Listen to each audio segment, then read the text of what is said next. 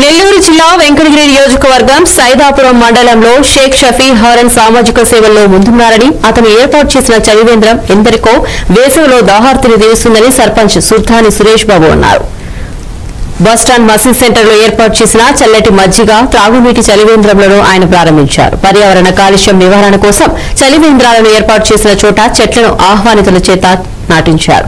ఈ కార్యక్రమంలో సచివాలయ సిబ్బంది మాజీ ఎంపీటీసీ గుమ్మడి వీరాస్వామి యువకులు పాల్గొన్నారు. వేసవకాలం వేసవకాలంలో ఎండ తీవ్రత తీవ్రంగా ఉంటుంది కాబట్టి కలిచేరు గ్రామంలో శక్తి ఆహారం ఆధ్వర్యంలో చలివేంద్రం డెబ్బై నాలుగు ఎనిమిది డెబ్బై నాలుగు క్రమంగా గత రెండు మూడు సంవత్సరాలుగా ఈ సామాజిక సేవ కార్యక్రమాలు చేస్తున్నారు.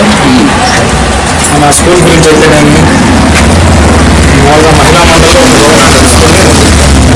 సెక్షన్ అయితేనేమి కోట్లకు ఏదో ఒకటి గ్రామానికి తన వంతు కృషి చేయాలని చెప్పి తన సొంత నిధులతో గ్రామానికి ఏదో ఒకటి సాయం చేస్తూ ఉంటాడు.